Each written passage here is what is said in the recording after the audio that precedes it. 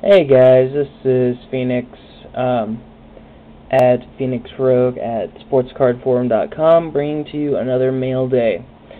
Before we begin opening these cards, I would just like to note that if you're trading with people, make sure you have enough postage on each envelope, because I got nailed for 20 cents on this one, and another 20 cents on that one.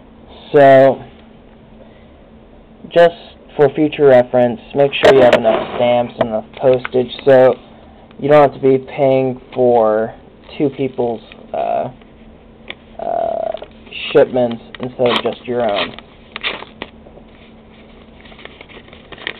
Alright. So, today, we're going to be covering two of these envelopes real quick. If I can actually get them out.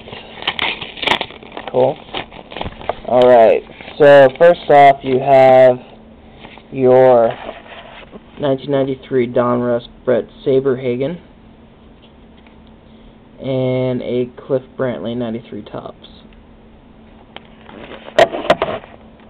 And that's for a collector that was going for 90s, which is pretty much my genre right now.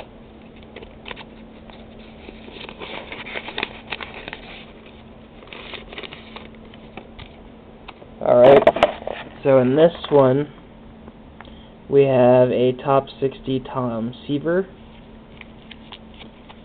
And you also have Stan Musial, uh, 60 Years of Topps. Alright, that is it for this episode. Have a good one.